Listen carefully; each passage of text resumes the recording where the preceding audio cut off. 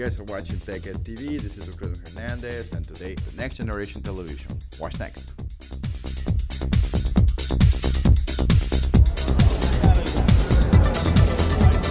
Okay.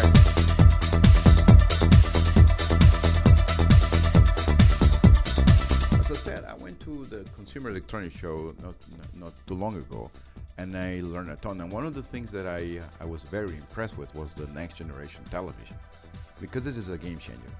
I've been in media, I've been in streaming, I've been learning everything about platforms, and it's not because cloud to cable basically followed the design of methodologies that uh, uh, next generation television follow, but this is how it works.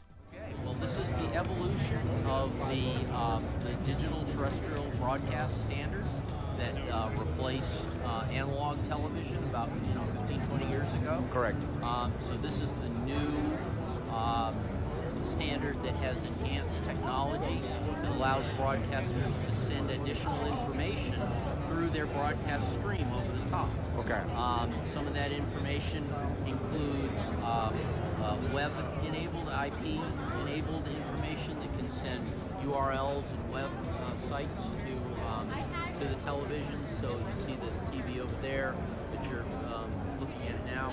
Right. Uh, the, the widgets on the left are um, web uh, stories Widgets. that you can widgets that you can click on, and that if your TV is um, is web enabled, you can view that content right on your television as opposed to having to go to the internet to, to pick it. So we interviewed Mr. uh, Nolan here from the ATSC uh, organization, and he gave us uh, an explanation that um, you can see right now.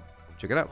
But um, for the most part, the, the, the stuff that's in there is going to be um, is going to be web uh, web uh, type stuff. But what you would be able to see, you would be able to get um, on this TV. You see the 4K HDR Yeah. uh, broadcast. So if a broadcast is coming over in 4K, Right. and you've got the 3.0 receiver, um, then you would you would get the, the, the nice clear picture that you're seeing there. You Gotcha. also get audio enhancements. Because you have Dolby, uh, Dolby AC4. AC4, exactly. Um, and one of the features uh, being demonstrated over there is the voice boost that's going to uh, raise um, the human voice over background noise like Oh, car okay, okay. that's there that's making a lot of noise and the announcer's trying to talk over it. This way you can elevate the announcer's voice so you can hear it over all that background noise. Yes, that was interesting, right? So now your TV will be able to have web widgets. You will be able to have um, all the interactiveness that you have in today's smart TVs. However, there's one little thing. You don't need internet because your TV has an IP layer. As you see in the following chart right here that I'm presenting on the screen, then uh, the ATSC 3.0 standard or the next generation television is already IPTV.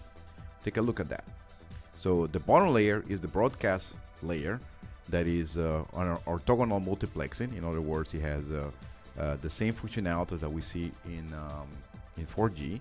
So the bit rate and the modulation is copied from the 4G world and the 5G world, and that brings the speed up substantially from what originally the, the previous modulation provided.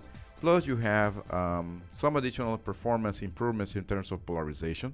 So your antenna will be able to have better performance, and you don't have to be moving that antenna around like you used to do before. Like in the in the past, it would be like with your antenna, left and right, right and left, and then maybe you catch two, three channels, and you don't catch the fourth one, but you're happy because you caught three No, no, that's not gonna happen anymore. Hopefully not. At the same time, then you receive everything in 4K. So you have 4K television.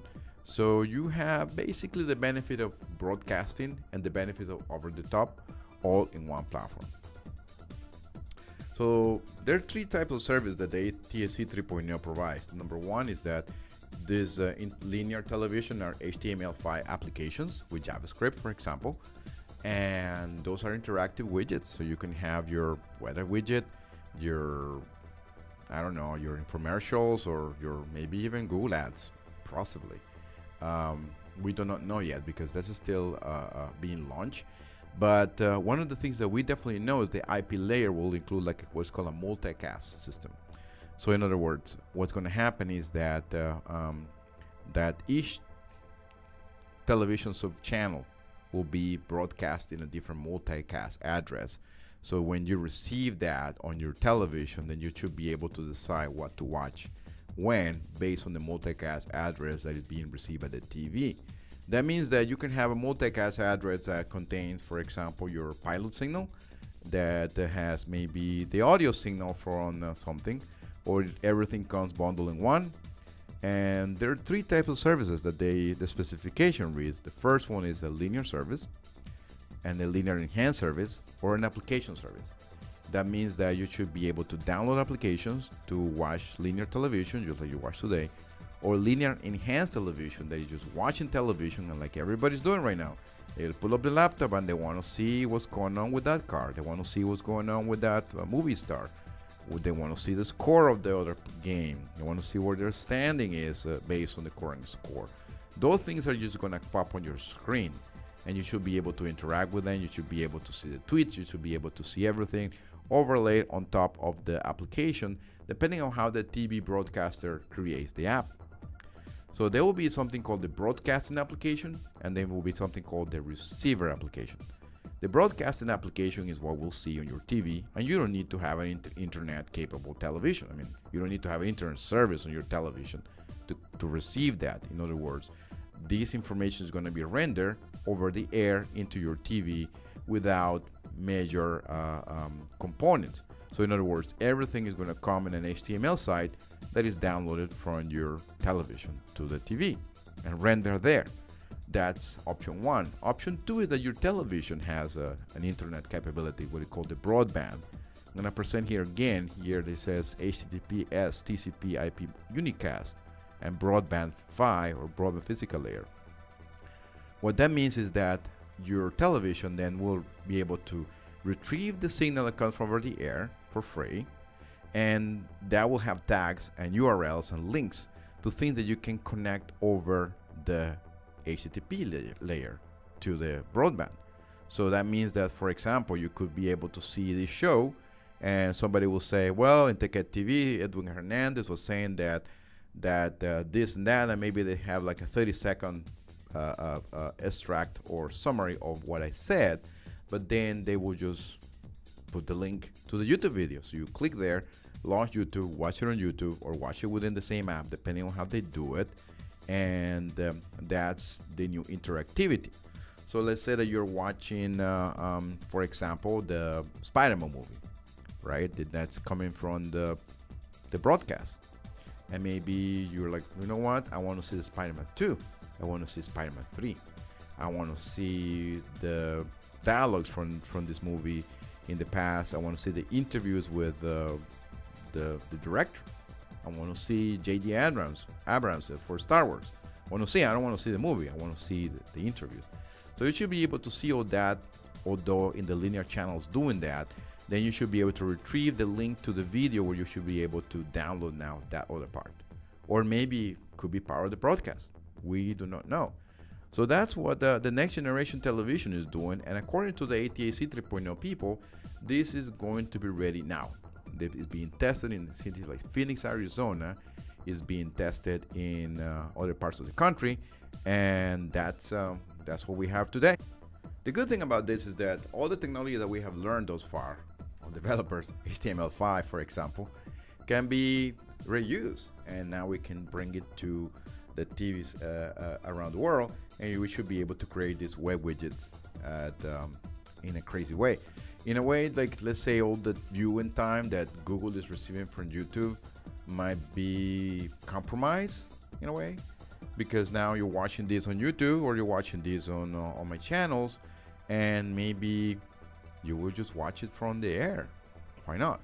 So that's uh that's something that i'm working on right now actually if you guys don't know because cloud to cable is a, is a patent technology that patented technology that does specifically that reads a website, a web, a web widget with JavaScript and everything else, and converts that into a process called uh, uh, um, um, uh, packetization, and converts that into a multicast address at, that is mapped to a different channel.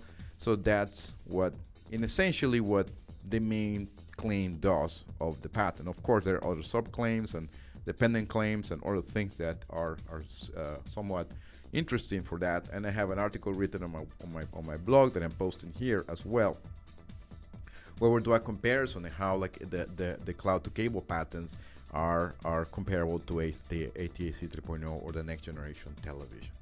So that's um, that is for now, guys. So so if you want to a want to learn more about ATSC 3.0 or next gen TV, uh, make questions right here, right there. If you want to uh, ask me about questions about the patents or how can you use them in your television system, or you want to test ATSC 3.0, um, also as well contact us here at the Eglavator. We're gonna start uh, promoting that that technology uh, thus far. And again, thanks for watching TechEd TV. This is Dr. Edwin Hernandez. It was a pleasure to see you. Thanks for subscribing. Bye bye.